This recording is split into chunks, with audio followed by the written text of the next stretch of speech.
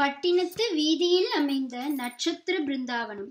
ஸ்ரீ ஸ்ரீ ராகவேந்திர சுவாமிகளின் கிருத்தயுக அவதாரமான ஸ்ரீ பிரகலாதராஜருக்கு நேர்ந்த மிக முக்கியமான நிகழ்வு நடந்த இடத்திற்கு பதினாறு கிலோமீட்டர் தொலைவில் உள்ள ஊர் இது.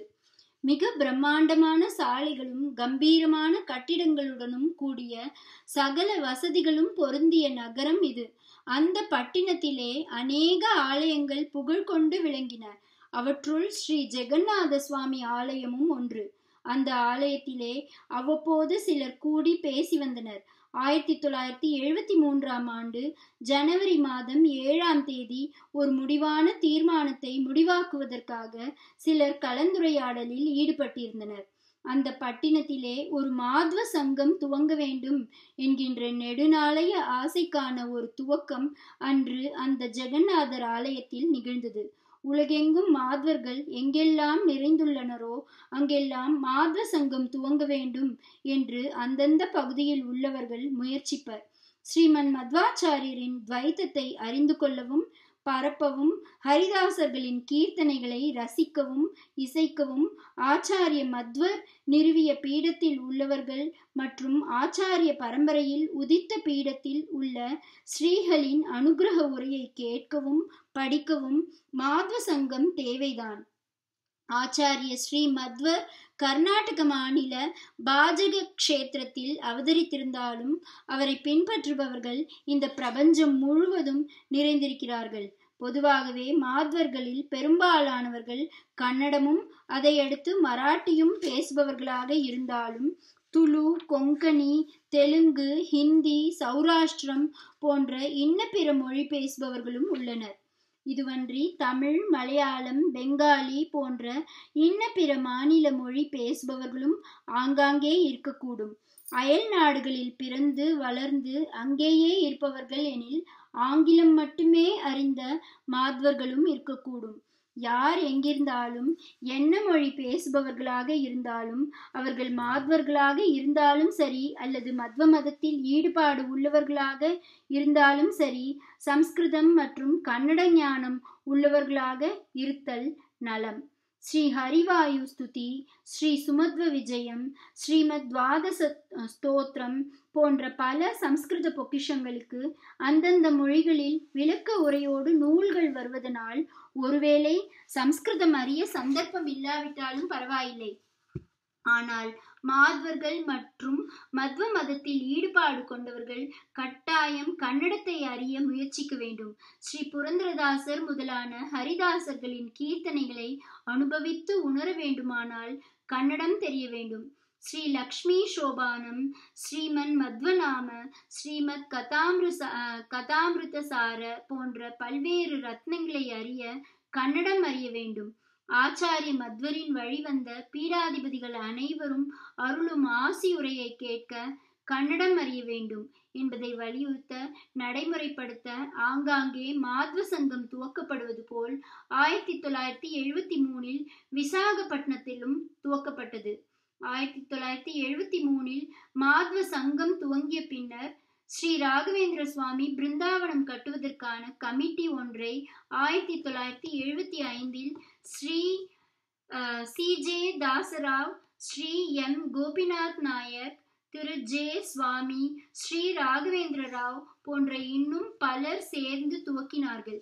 ஸ்ரீ பிரகலாதராஜரின் பாதம் பட்ட பூமியில் தமது மிருத்திகா பிருந்தாவனம் எழ எப்படியெல்லாம் ஸ்ரீ ராகவேந்திரர் அனுகிரகித்திருக்கிறார் என்பதை அறியும்போது ஸ்ரீ குருராஜரின் கருணா கடாட்சம் எப்படியெல்லாம் ஒவ்வொரு இடத்திலும் ஒவ்வொரு விதமாக இருக்கின்றது என்பதை நம்மால் உணர முடிகிறது. விசாகப்பட்டினத்தின் விசாலமான வீதிகளில் ஒன்றில் அப்சரா ஹோட்டல் அமைந்துள்ளது. அந்த வளாகத்தில் எம். கோபிநாத் நாயக் அவர்களின் வீடு இருந்தது. கோபிநாத் அந்த ஹோட்டலின் இயக்குநர்களில் ஒருவராகவும் இருந்தார். ஆதலால் அவர் அந்த வளாகத்திலேயே தங்கியிருந்தார். கோபிநாத் தம் தம்பதியர் ஸ்ரீ குருராஜரின் மீது அளவிடற்கரிய பக்தி பூண்டிருந்தனர். ஸ்ரீ ராகவேந்திரரின் மிருத்திகா பிருந்தாவனம் விசாகப்பட்டினத்தில் வரவேண்டும் என முடிவெடுத்ததும் வியாழக்கிழமை தோறும் கோபிநாத் நாயக் இல்லத்தில் பஜனை நிகழ்ந்து வந்தது. பஜனை முடிந்ததும் மிருத்திகா பிருந்தாவனம் அமைய வேண்டும் என முடிவெடுத்து விட்டால் மட்டும் போதாது. அதற்கு இடம் வேண்டும் இடத்தை வாங்குவதற்கு பணம் வேண்டும். அந்த பணத்திற்காக நாம் பல தனவான்களை மனப்பூர்வமாய் தரும் தனவான்களை சந்திக்க வேண்டும் என்று பேசிக்கொள்ளலாயினர் கோபிநாத் நாயக்கிற்கு அப்போது சட்டென்று நினைவுக்கு வந்தவர் குருராஜரால் நினைவுக்கு கொண்டு வரப்பட்டவர் ஸ்ரீ எம். ஜெகநாத சுவாமி என்பவர்தான். மங்களகிரியில் புகழ்பெற்ற ஜுவல்லர்ஸ் குடும்பத்தை சேர்ந்தவர் ஜெகநாத சுவாமி சட்டம் பயின்றவர். விஜயநகரத்தில் இவரது தந்தை சீதாராமையர் மிகவும் செல்வ செழிப்பில் பொன் வெள்ளி வைர வியாபாரியாய் திகழ்ந்தவர். அப்படிப்பட்ட குடும்பத்தில் ஆயிரத்தி தொள்ளாயிரத்தி இருபத்தி நாலில் பிறந்த ஜெகநாத சுவாமி சிறிது கூட கர்வமோ படாடோபமோ இன்றி வளர்ந்தார். சிறுவயதிலிருந்தே தெய்வ பக்தியில் திளைத்து அவர் வளர வளர ஆன்மீக நெறியும் அவருள் சேர்ந்தே வளர்ந்தது. கோபிநாத நாயக்கிற்கு இந்த ஜெகநாத சுவாமி நண்பராய் இருந்தார். இவரிடம் சென்று நன்கொடை கேட்கலாம். கேட்கா கேட்டால் எனக்காக என்று இல்லாவிட்டாலும் அவர் சாதாரணமாய் செய்யும் தர்மத்தின் ஒரு பகுதியாக நமது திட்டத்திற்கும் தானம் செய்யக்கூடும்.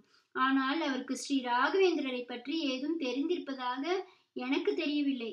இதுகாரும் ஒரு நாளும் நானோ அவரோ பேசியபோது ஸ்ரீ ராகவேந்திரரை குறித்து ஏதும் வாய் தவறி கூட சொன்னதில்லை என்று கோபிநாத் நாயக் எடுத்து கூறினார். அப்படியானால் அவரை சந்திக்க நேரம் வாங்குங்கள். நாம் அனைவரும் சேர்ந்து குழுவாக சென்று ஸ்ரீ ராகவேந்திரரை பற்றி எடுத்துரைத்து நிதி கேட்போம் என்று இன்னொருவர் ஆலோசனை சொல்ல அதன்படி நேரம் வாங்கி ஒரு நாள் அனைவரும் ஜெகநாத சுவாமியை சென்று சந்திக்க காத்திருந்தனர். ஜெகநாத சுவாமி அழைத்ததும் உள் சென்றபோது என்ன ஒரே கூட்டத்தோடு வந்திருக்கிறீர்கள்? ஏதேனும் பொது காரியமா? என ஆர்வமுடன் வினவினார். ஆமாம் என்று சொல்லி ஸ்ரீ ராகவேந்திரருக்கு இந்த பகுதியிலே ஒரு மிருத்திகா பிருந்தாவனம் அமைக்க ஆசைப்படுகிறோம். தொகை வசூல் செய்ய ஆரம்பித்திருக்கிறோம். வசூலாவதை பொறுத்து ஏதேனும் ஒரு இடத்தை வாங்கலாம் என்றிருக்கிறோம் என்றார் கோபிநாத். எங்கு வாங்குவதாக உத்தேசித்திருக்கிறீர்கள்? நகருக்கு வெளியேதான் வாங்க முடியும். விசாகப்பட்டினம் நகருக்குள் ஒரு சதுர அடி விலை எங்கேயோ போய்விட்டதே. உங்களிடம்தான் முதலில் வந்திருக்கிறோம். பின்னர் வசூலாகும் தொகைக்கு ஏற்ப இடத்தை தேர்ந்தெடுக்க வேண்டும். அப்படியா? நீங்கள் திரட்டும் நிதி வேறு எதற்காவது இருக்கட்டும். இடத்தை பற்றிய கவலையை விடுங்கள் என்று ஜெகநாத சுவாமி சொன்னதும் எல்லோர் முகத்திலும் சந்தோஷம் பொங்கி பிரவாகித்தது. அந்த இறை அறையில் சிறிது நேரம் நிசப்தம் நிலவியது. ஜெகநாத சுவாமிக்கு விசாகப்பட்டினத்திற்கு வெளியே அநேக இடங்கள் இருக்கக்கூடும். அவற்றில் எந்த இடத்தை தரப்போகிறாரோ என்பதை அறிய ஒரே ஆவலாக இருந்தது. பாருங்கள் என்ன ஓட்டத்தை. நிதி திரட்டி இடம் வாங்குவதற்கு பதிலாக இடமே இலவசமாக கிடைக்க இருப்பதை நினைத்து சந்தோஷப்படாமல் எந்த இடம் கிடைக்குமோ என்கின்ற அலசலுக்கு வந்துவிட்டதை. சரி ரொம்ப சந்தோஷம். மற்ற வேலைகளை கவனியுங்கள். இடம் எது என்பதை விரைவில் சொல்கிறேன் என்று ஜெகநாத சுவாமி சொன்னதும் அனைவரும் நன்றி கூறி விடை பெற்றனர் சொன்னதைப் போலவே ஓரிரு நாட்களில் கோபிநாத் நாயக்கை கூட்ட கூப்பிட்டனுப்பினார் சுவாமி. சென்றபோது ஜெகநாத சுவாமி ஸ்ரீ ராகவேந்திர மிருத்திகா பிருந்தாவனத்திற்காக தானமாக தருவதாக சொன்ன இடத்தை கேட்டவுடன் கோபிநாத் நாயக்கின் மனமும் உதடுகளும் குருராஜா குருராஜா குருராஜா என்று தன்னை அறியாமல் தந்தியடிக்க ஆரம்பித்தன. உண்மையில் அவரால் முதலில் நம்பவே முடியவில்லை. நிஜத்திலேயே ஜெகநாத சுவாமியுடன் பேசிக்கொண்டுதான் இருக்கிறோமா? அல்லது கனவு கண்டு கொண்டிருக்கிறோமா? என்றே தோன்றியது. இடம் பிடித்திருக்கிறதா? என்ன ஒன்னும் சொல்லாமல் வாயடித்து நின்றுவிட்டீர்? என்று ஜெகநாத சுவாமி கேட்டதும் தான் கோபிநாத நாயக் தன்னிலைக்கு வந்தார். இடம் பெரி பிடித்திருக்கிறதாகவா? உங்கள் இடத்தை தான் குருராஜர் தனக்கென பிடித்து கொண்டு விட்டாரே. எங்களுக்கு பிடிக்காமலா போகும். ராயருக்கு பிடித்ததனால்தானே உங்களை இந்த இடம் தர செய்திருக்கிறார் என மனதுக்குள் சொல்லிக்கொண்டு ஆமாம் வாய் அடைத்துத்தான் போய்விட்டது. பேச நாய் எழவில்லை. எப்பேற்பட்ட இடம் நண்பரே எப்பேற்பட்ட இடம் என்று நெகிழ்ந்தார் ஜெகநாத சுவாமி. கோபிநாத நாயக் இந்த விஷயத்தை ஓடோடி வந்து தன் கமிட்டியினரிடம் சொன்னபோது எல்லோரும் ஒரு சேர எழுப்பிய உற்சாக கோஷம் அந்த தெருவையே உலுக்கியது. ஆம் ஜெகநாத சுவாமி தருவதாக சொன்ன இடம் விசாகப்பட்டினத்தின் மைய பகுதியில் நட்சத்திர ஹோட்டல்கள் உள்ள விலை மதிக்க முடியாத பகுதியில் இவர்கள் வியாழக்கிழமை தோறும் பஜனை செய்து வந்த அப்சரா ஹோட்டல் தெருவில் அதுவும் அங்கிருந்து இரண்டு ஃபர்லாங் தூரத்திற்குள்ளேயே இருந்ததில் எல்லோரும் திணறித்தான் போயினர். இடமும் சிறிய இடமில்லை. சுமார் ஒன்பதாயிரம் சதுர அடி விஸ்தீர்ணம் உள்ள இடம். எல்லோருக்கும் மகிழ்வென்றால் அப்படி ஒரு மகிழ்வு. அதே ஆயிரத்தி தொள்ளாயிரத்தி எழுபத்தி ஐந்தில் ஜெகநாத சுவாமி ஒரு பப்ளிக் சேரிட்டபிள் ட்ரஸ்டை உருவாக்கி அந்த இடத்தை ட்ரஸ்ட் பெயரில் மாற்றி தந்தார். இதன் பின்னர் வேலைகள் மளமளவென நடக்க துவங்கின. இருபத்தி ஐந்து மூன்று ஆயிரத்தி தொள்ளாயிரத்தி எழுபத்தி ஆறில் ஸ்ரீ பேஜாவர் மடாதீசரால் சங்கு ஸ்தாபனம் ஆயிற்று. அப்போதே ஸ்ரீ சுவாமிக்கு அந்த இடம் மிகவும் பிடித்து போயிற்று. பத்ரி யாத்திரை சென்று திரும்புகையில் இந்த இடம் மிகவும் உபயோகமாக இருக்கும் என்று அவர் மனம் அப்போதே நினைக்க துவங்கியது. ஸ்ரீ ஆஞ்சநேய விக்கிரகமும் ஸ்ரீ ராயர் பிருந்தாவனமும் மகாபலிபுரத்தில் செய்வதற்கு ஆர்டர் கொடுத்தாயிற்று. பஞ்சலோகத்தில் ஸ்ரீ ராமலக்ஷ்மண சீதா ஆஞ்சநேய விக்கிரகங்களும் ஸ்ரீ நரசிம்ம ஸ்ரீ பிரகலாதர் விக்கிரகங்களும் செய்வதற்கு கும்பகோணம் சுவாமி மலையில் ஆர்டர் தந்தாயிற்று. ஸ்ரீ ராகவேந்திர மிருத்திகா பிருந்தாவன கமிட்டி ஆரம்பித்த பிறகு ஒவ்வொரு பஜனையின் போதும் தட்டேந்தி தட்டேந்தி சேர்த்து வைத்த காசை தனியே வைத்திருந்தனர். அந்த தொகையில்தான் இந்த விக்கிரகங்கள் எல்லாம் செய்யப்பட்டது. அதாவது பக்தர்கள் எல்லோரின் பங்களிப்பும் இதில் இருக்க வேண்டும் என்பது கமிட்டியினரின் விருப்பமாய் இருந்தது. என்பதை விட ராயரின் விருப்பம் அத்தன்மையதாய் இருந்தது என்பதே உண்மை. எல்லாம் தயாரான நிலையில் உடுப்பி ஸ்ரீ பேஜாவர் மடாதீசர் ஸ்ரீ ஸ்ரீ விஸ்வேச தீர்த்தர் திருக்கரங்களால் பத்தொன்பது ஆறு ஆயிரத்தி தொள்ளாயிரத்தி எழுபத்தி எட்டில் மிக மிக கோலாகலமாய் ஸ்ரீ ஸ்ரீ ராகவேந்திர சுவாமிகளின் மிருத்திகை பிரதிஷ்டை செய்யப்பட்டது. பேஜாவர் ஸ்ரீமட சுவாமிகள் நினைத்தபடியே உடுப்பி ஸ்ரீகள் யாராயிருந்தாலும் பத்ரி யாத்திரை சென்று வரும்போது கட்டாயம் இந்த ஸ்ரீமடத்திற்கு வந்து பூஜைகள் அனுஷ்டித்து பக்தர்களுக்கு ஸ்ரீ பத்ரி நாராயணரின் அருளையும் ஸ்ரீ குருராஜரின் அருளையும் தமது ஆசியையும் ஈருமா ஈயுமாறு அமைந்துள்ளது. கரூரிலே பிருந்தாவன பிரதிஷ்டை செய்த உடுப்பி பேஜாவர் மடாதீசர் ஸ்ரீ விஸ்வேச தீர்த்தர் தான் இங்கே விசாகப்பட்டினத்திலும் பிரதிஷ்டை செய்திருக்கிறார். அதுவும் கரூரில் இருபத்தி மூன்று ஆறு ஆயிரத்தி தொள்ளாயிரத்தி எழுபத்தி எட்டில் பிரதிஷ் பிரதிஷ்டை. விசாகப்பட்டினத்தில் நான்கு நாட்கள் முன்னதாக பத்தொன்பது ஆறு ஆயிரத்தி தொள்ளாயிரத்தி எழுபத்தி எட்டில் பிரதிஷ்டை.